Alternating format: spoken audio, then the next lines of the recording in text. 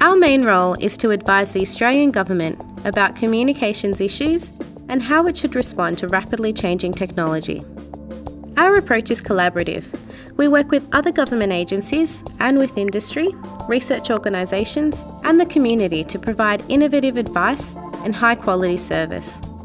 Our work helps the Minister fulfil executive obligations